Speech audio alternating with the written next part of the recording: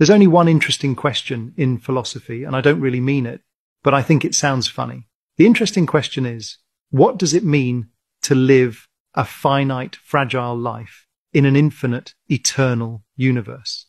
So that's not that funny, right? It's a good question. I think the answer is that sort of paradoxically, whilst we are definitely physically insignificant, the Earth is one planet around one star amongst 400 billion stars, in one galaxy amongst two trillion galaxies in a small patch of the universe, right? So we're definitely small, and you can't argue with that. We're just specks of dust.